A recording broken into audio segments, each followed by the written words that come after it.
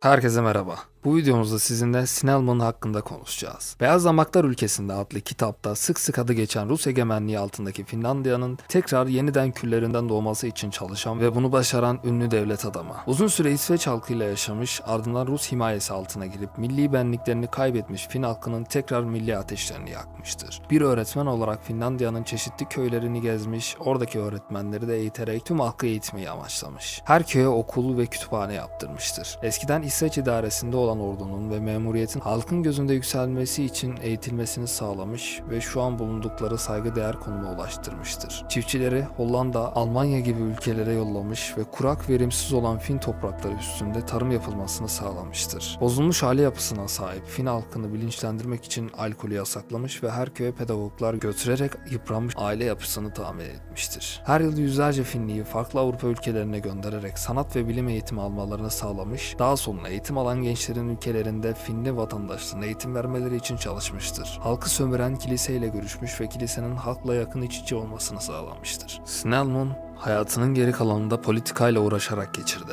Bugün bile milliyetçi hareketlerde onun izi ve fikirleri kuvvetli olarak hissedilmektedir. Hayatını konu alan Grigori Petrov'un kaleme aldığı Beyaz Zambaklar Ülkesinde adlı kitap hem Türkiye'de hem de Bulgaristan'da büyük beğeni toplamış, Mustafa Kemal Atatürk'ün emriyle tüm askeri okullarda okutulması zorunlu tutulmuştur. Finlandiya'da her yıl 12 Mayıs Snellman Günü adıyla kutlanmaktadır.